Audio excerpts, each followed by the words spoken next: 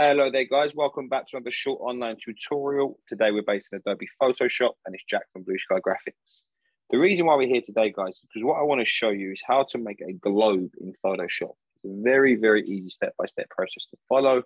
And hopefully what I do is get the creative uh, flair flowing uh, with inside yourself so you can create some amazing stuff within your graphic design life. As you can see, when I hover over it as well, I have the option of swiveling around the globe here so I can see different parts of the world.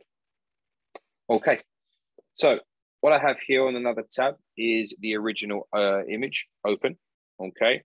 And what I'm gonna do is just open up our layers. If you can't find your layers situated over here, they are always situated in window layers, okay?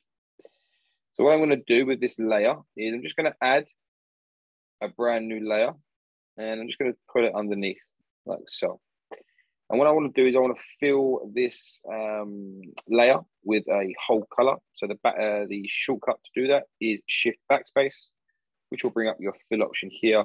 And what I would like to do is fill it with the color black. Okay.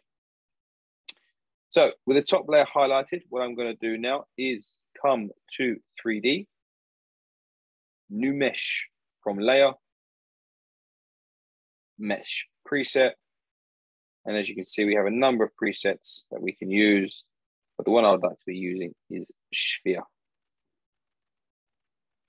What we do is say no, we want to keep in the workspace that we're in at the moment.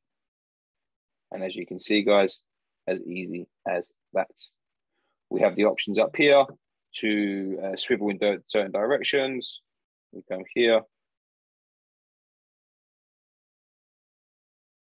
Different types of axes that we can swivel on to create the angle that we are looking for. Thank you very much, guys, for taking the time to uh, watch our video today. If you're interested in finding out more, please visit our website at blueskygraphics.co.uk. Also, take a look at our uh, Instagram at Blue Sky Graphics UK. Thank you very much, guys. Take care, and I'll see you next time.